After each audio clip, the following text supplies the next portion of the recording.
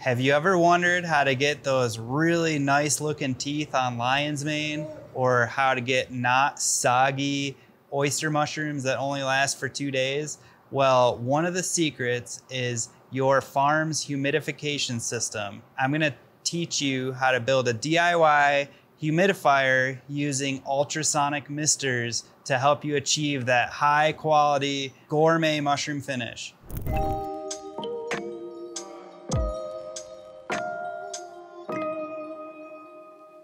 What's up, Mushroom Fam? It's Gary with Fresh from the Farm Fungi. Today I'm in Sedalia and I'm gonna show you how to build a DIY humidifier system.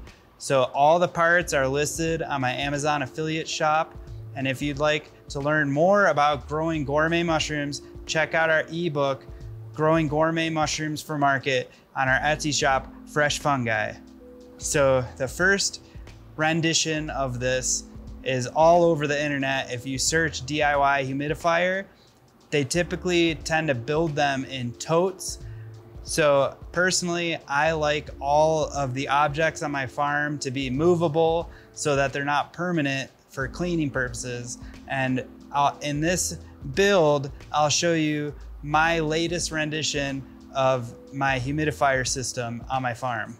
Okay, so materials you're going to need is a large garbage can, preferably with wheels. So I have this 32 gallon tote right here with wheels on it. So it's easily movable. Now, one thing you wanna make sure is that it's a watertight bin.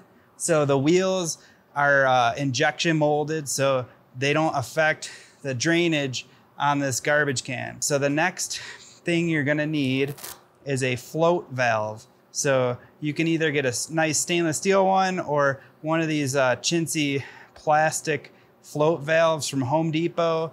This is just a SharkBite adapter. And the idea is that you can hook up a larger water reservoir to the float valve. And when the water level reaches a certain height, it opens the valve so that you never run dry. That's the most important thing when you're building these DIY humidifiers is you don't ever want the water to run out. So we've got our float valve there. And what you're gonna do is drill a hole about four to six inches above the uh, bottom of the reservoir and attach your float valve in there. And that way you wanna leave enough room for the, the heart of the whole humidification system, which is the ultrasonic mister. So I like these uh, 12 headed misters they're really nice because if one of them goes down, you still have a bunch of other ones producing uh, uh, humidification.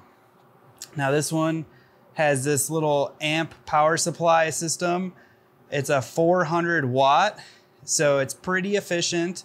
And this will be attached to the outside of this uh, tote here. So I usually just lay these on top. That ultrasonic mister will attach to these floats and then that goes in the bottom of the tote once there's water and um, once there's water filled in it. Okay, so next on our list here is this uh, UV sterilizer. So they make uh, suction cup ones or just any aquarium UV sterilizer light. This is gonna come in really handy to cut back on cleaning. So I like to have something like this in all my reservoirs to prevent algae buildup or anything from growing in there, which then is projected into the uh, farm.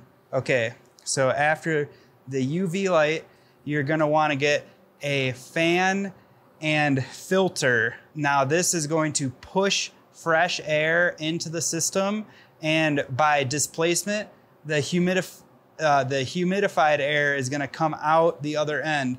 I used a, a hole saw to drill two four inch holes on the lid here. Now, one of them I'm gonna use to attach the piping. You can see behind me, I've got one already installed in this grow tent, but it's just four inch corrugated piping.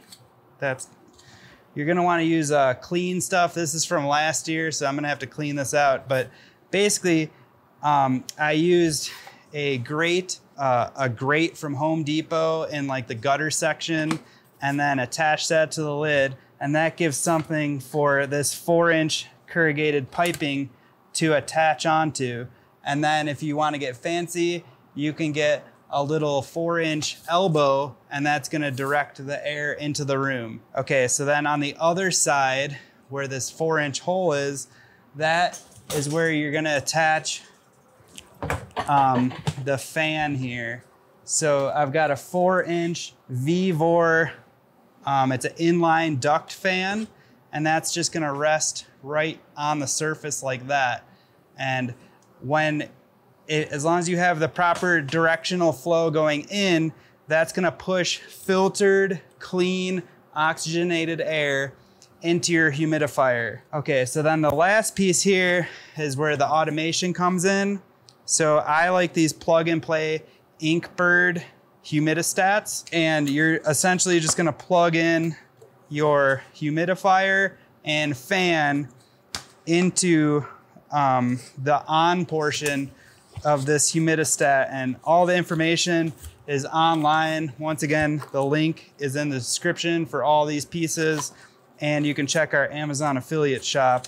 But you'll wanna set the humidifier with this to about 80% or so, and you can control the variance in that as well. But when the humidity drops below a certain level, it will kick on the humidifier and fill the room with fog, that beautiful, delicate humidification. Another key component is that I run my exhaust 24 7 so that the humidifier is only pumping humidity into the air. I've got a four inch corrugated pipe with lots of holes on it, constantly exhausting. And that way it creates a, a current of air and the CO2, which falls down to the surface of the ground, will be expelled by the exhaust. All right, guys, I hope you enjoyed that video about how to DIY your humidifier. Once again, check out our Amazon affiliate store if you're looking for links to any of these pieces or if you have any questions, uh, shoot the questions in the comments below. Until next time, much love.